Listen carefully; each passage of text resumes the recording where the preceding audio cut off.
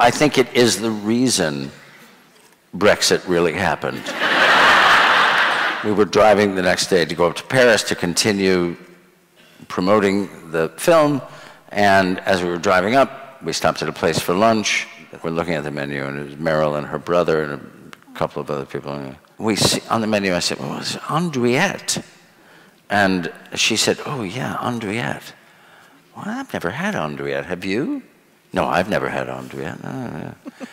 well, I love andouille sausage. Me too.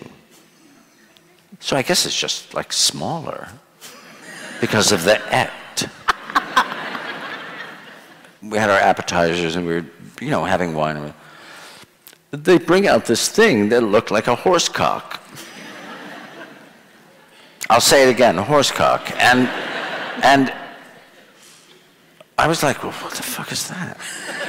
And Meryl, I looked at her and she was like, mm, hardly et, you know.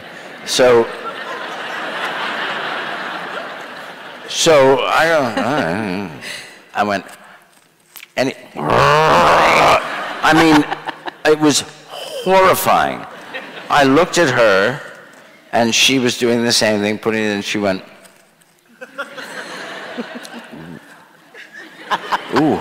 And I was like, wow, what is that? And she said, I don't know. I said, that's awful.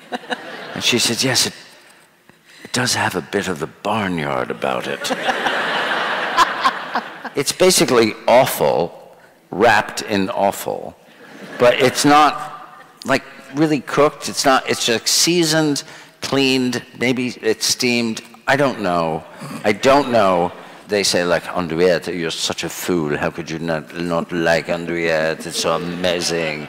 And you're like, it's fucking disgusting.